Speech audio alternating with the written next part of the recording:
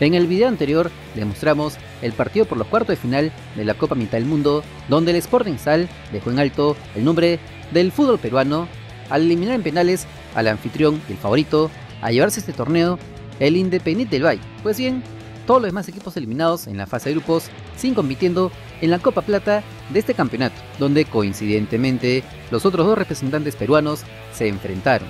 Nos referimos a Universitario Deportes y Alianza Lima en una nueva edición del Superclásico del fútbol peruano, donde los íntimos ganaron por 3 a 2 al equipo merengue. El primer tiempo, los blanqueazules se fueron al descanso ganando por 2 a 0, pero en el complemento la U reaccionó y logró empatar el juego. Sin embargo, los victorianos se llevaron el triunfo por 3 a 2 con tantos de Thiago Bocanegra y el doblete de Víctor Guzmán. Víctor Guzmán, juego delantero. ¿Qué tal? ¿Cómo vieron el partido?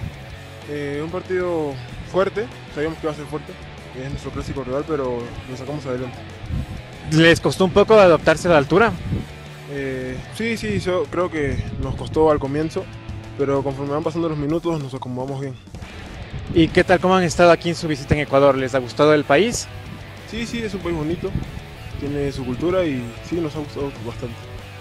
Con este triunfo, Alianza Lima jugará las semifinales de esta Copa Plata ante el Peñarol de Uruguay, mientras que los cremas también jugarán con el perdedor del otro partido de esta competición, esperando que poco a poco vayamos mejorando en las categorías menores, donde estos partidos en competiciones internacionales son importantísimos a la hora de foguear a nuestros jóvenes talentos de las canteras nacionales y sean tomados en cuenta por los equipos profesionales y sobre todo lleguen con horas de competencia internacional a las selecciones peruanas menores, porque sin duda hay un gran potencial en el país, pero lo que faltan son estos partidos de alta competencia, por lo que por ahora toca rezar. No te olvides que si quieres estar enterado de las últimas novedades de nuestro balompié, solo suscríbete al canal porque somos el canal del fútbol peruano. Si te gustó el video de like, comparte, suscríbete con la campanita. Nos vemos en el siguiente video. ¡Chao!